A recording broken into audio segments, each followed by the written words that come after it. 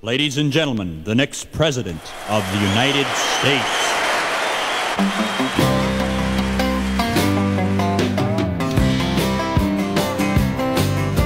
Now, if I am elected, your next president, there'd be hellacious changes in this here government.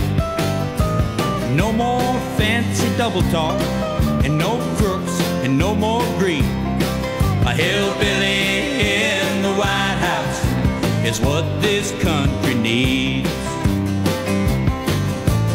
We'd all drive a pickup with brand new CBs, and I'd bring back Green Acres on your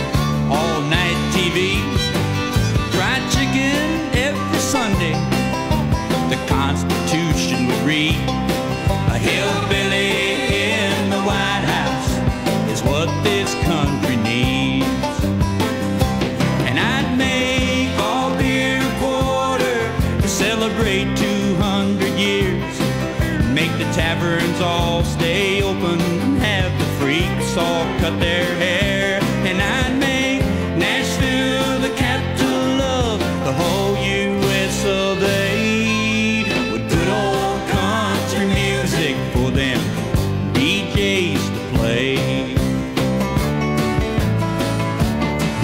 They'd be fishing every Monday if I was your president.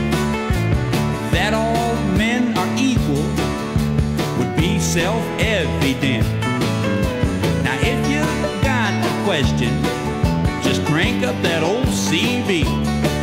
My handle is the White Horse on 1020s Tennessee. I'd make all beer a quarter celebrate 200 years. Make the taverns all stay open and have the freaks all cut their hair. And I'd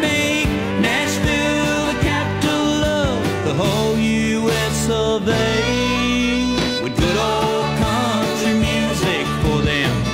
Eight days to play, and that put Porter in Portugal and Dolly off in Spain. Hillbilly in the White House is what this country needs.